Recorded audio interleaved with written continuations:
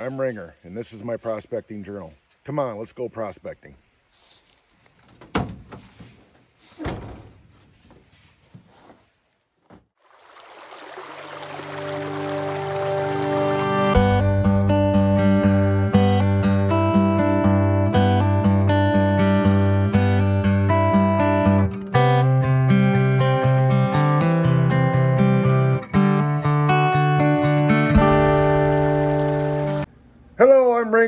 Ringer's Prospecting Journal. In today's episode, we're doing a mail call day.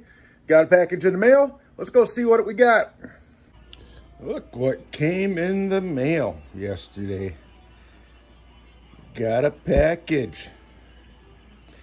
Let's open it up and take a look and see what's inside. I'm trying to do this one-handed, so bear with me, folks.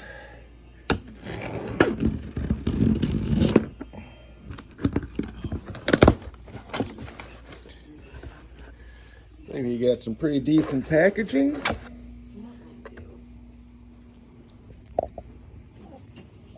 Condition of the box was excellent.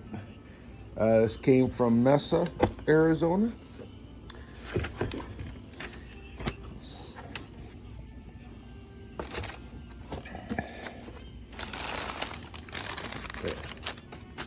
Bunch of paper wrapping.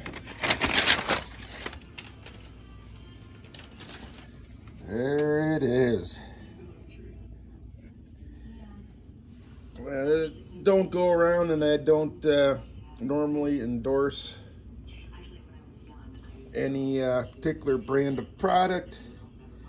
Uh, this is a power sluice, six inch power sluice. Uh, looks like we got some directions here. And uh, good nice sturdy hose uh, with some hose clamps. I'll be getting the measurements off of that for another project that I'm working on. Uh, this is a power sluice, comes with the hose and a pump.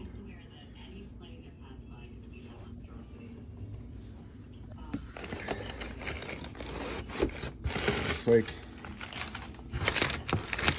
everything is uh, pretty much wrapped up together. Let's see if I can uh, get this lifted out of here. Just notice there's uh, some plastic here.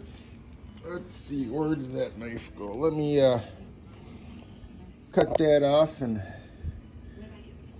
so I can take the stuff out individually. There we go. Sorry for the camera work, folks. I said I'm doing this one-handed. All right, so this is the uh, sluice flare. Um, use attach this and uh, set it right into the creek and use it as a normal sluice box.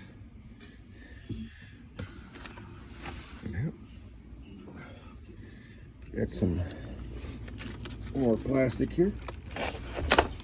Overall, the packaging of this is very, very nice. All right, so we have here whoops, is power sluice hopper. I would assume is what it's called. Connect the hose on top there. Water circulates through there and comes out the bottom. This gets bolted on to your sluice box. Now, right here. This might be the pump? Yes, it is. We have a 1200 gallon per hour pump. It's got a nice little bracket that you can uh, hang off the side of the sluice or into your uh, bucket, whatever, to uh, pump the water out, and it is electric. Um, yeah, so we will take a look at this a little bit more closely here in a bit. What else have we got in here? Oh, yep, we got the clamps for the pump. I guess they didn't ship those attached, so we'll have to do a little bit of wiring to hook the pump up to the clamp, or clamps up to the pump actually. What else have we got in here? Oh, this must be the stands or the legs for the stands.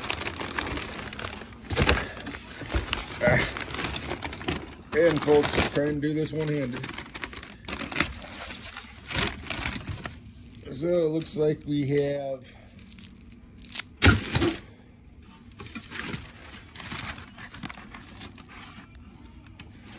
four sets of legs. And uh, so far so good. And the sluice box itself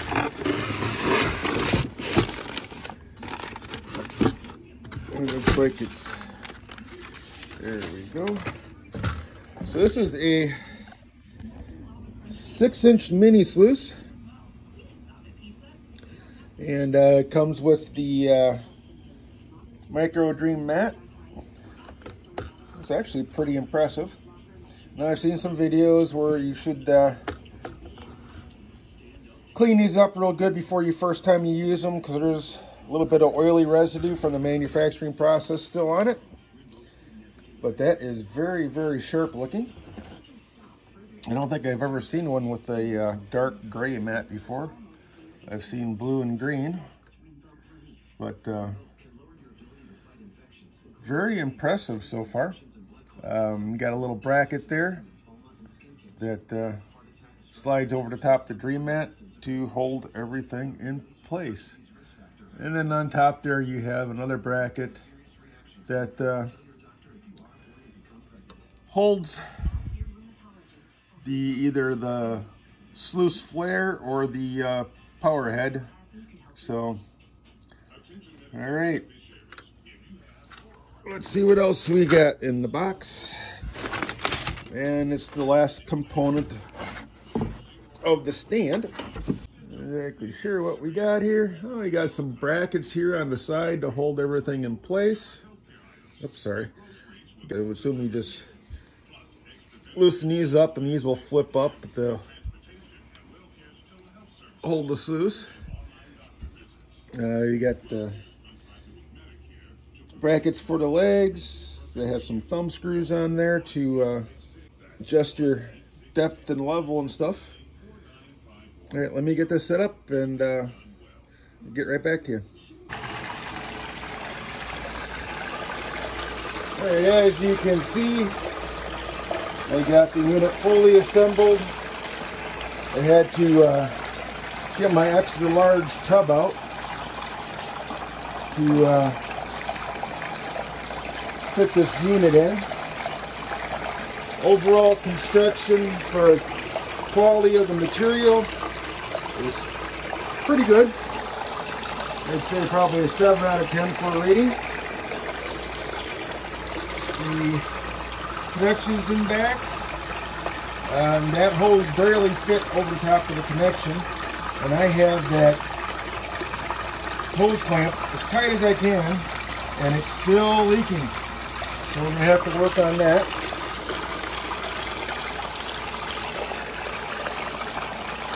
The 1100 gallons per hour pump seems to me like it's a little bit overkill. Um, definitely going to have to get a bilge pump controller, maybe from Washington Beach Mining. Uh, try to slow down the water flow a little bit. Um, I did take the mat out and uh, it a good scrubbing with some Dawn dish soap just to remove any residual oils that might have been on the mat yet from the manufacturing process. Stand is okay, relatively easy to use. Overall construction, uh, fit, form, and function. Yeah, I had a heck of a time getting that box in place. And if you look at it, right there in the corner, there's a gap. Gap there. Not exactly the best fit but it is working. Um, It's also the uh, cause of another more leaks. So I don't know if I'm going to uh, ever switch this over to actually be a river sluice or not.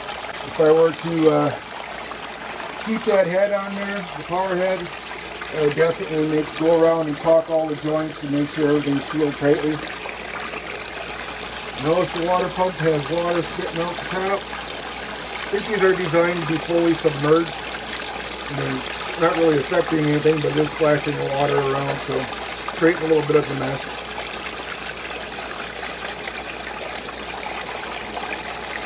You have a little bit of jet dry in the water. I am going to run some material, but uh, get that part set up and then I'll be right back. Thank you. All right, so I got a bucket of some of my uh, Nugget Lake concentrates again. And uh, I'll run it through this stuff. Take the mat out. And uh, see if we find any gold in it. Again, I think the water's going way too fast, but uh, should probably burn through this pretty quickly. Fast as the water's going.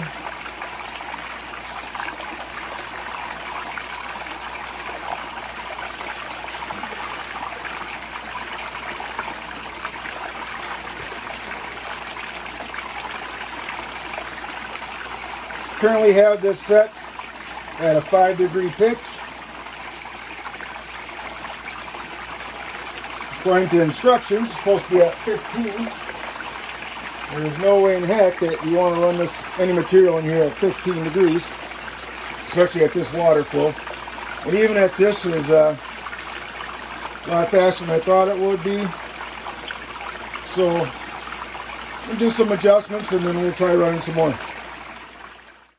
Alright, I made some adjustments to it. Still running kind of fast. Not exactly liking the way this is bubbling up over the top here. Um, I think I got this set about one or two degrees. Dropped it significantly just because of the speed of the water. Try a couple spoonfuls and see what we get.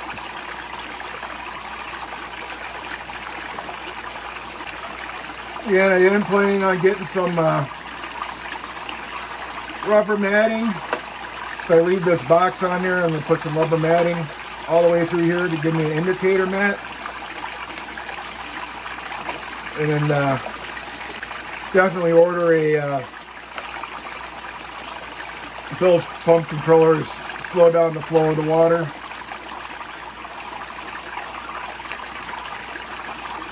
This is supposed to be a six inch cleanup sluice. It's just an off brand that I found on Amazon.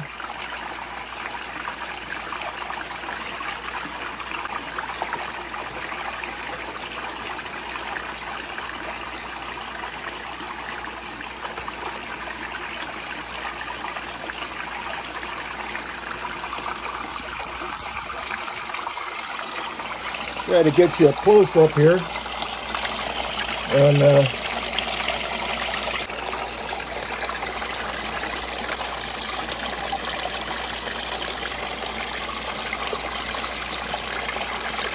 get you a close up of the material dancing around in the mat there. Everything seems to be working fine at this speed. A little bit of black sand buildup up here, so we'll wipe that down, but everything seems to be swirling.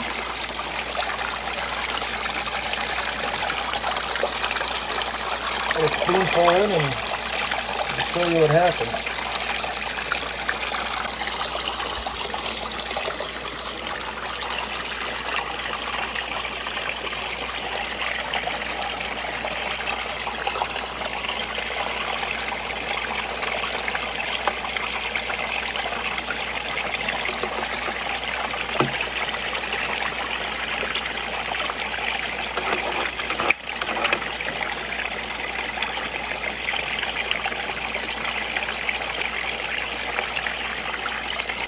So overall looking pretty good at this level.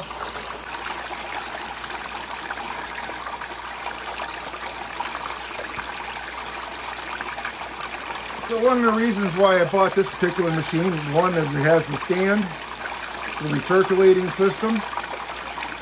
It was by over a hundred dollars cheaper than some of the main name brands that you see on sale or for sale online.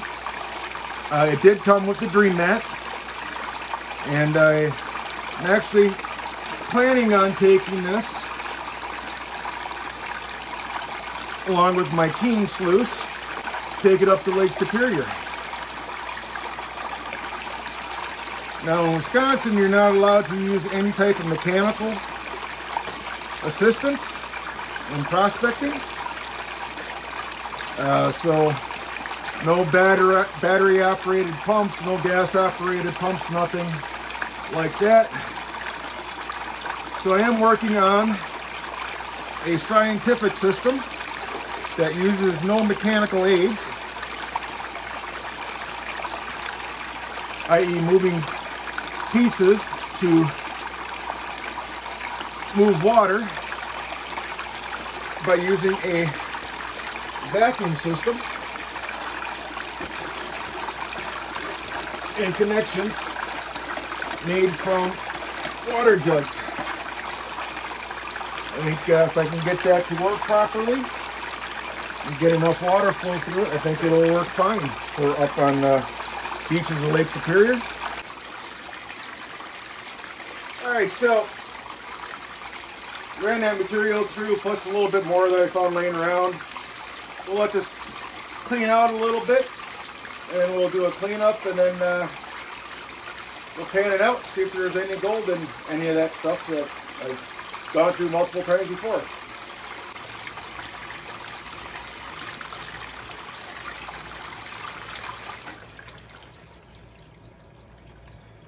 There, shut that down. Doesn't look there's a lot of concentrates in that mat, which is a good thing. Do a quick clean out here. Two wing nuts on the back to loosen up this plate. And be able to slide the mat out.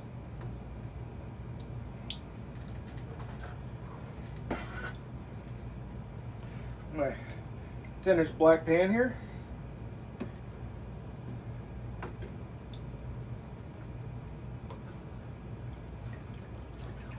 Alright, supposed to slide this out the end of the box, but just uh, turn it upside down. A couple little shakes. and it's all cleaned out. That up there for now. now I'm not going to worry about the sand and stuff that's already or still in there. Uh, at least not at this time. And that's all the concentrates that we have left. Probably maybe an eighth of a cup, if that.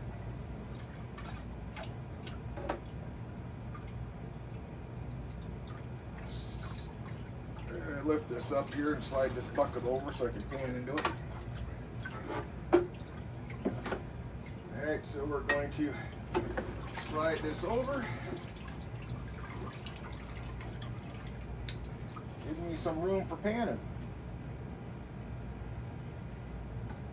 Again, not a lot of material left over. So I'm just going to do a quick pan because I just want to see if there's anything in here. I'm not going to go real in depth. Uh, again, I am saving this material.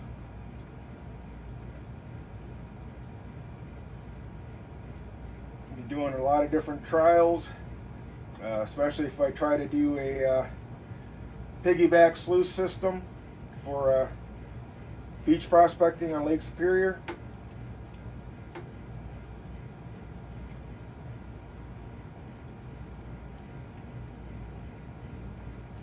So again, this was all classified material that I ran through here. Uh, I couldn't even tell you what mesh it was. It was just some stuff that I still needed to go through. And uh, so all the particles in here are roughly the same size.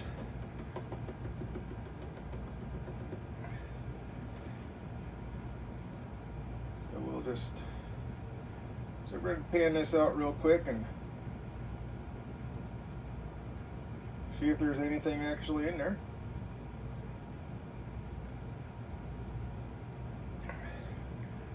And I'll pull it back. I'm not really expecting to find anything, but hey, you never know.